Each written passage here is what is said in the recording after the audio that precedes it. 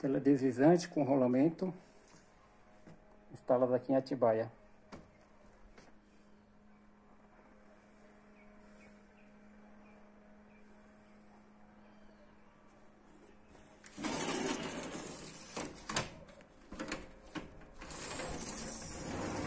Puxa o vidro. Pode colocar para os dois lados.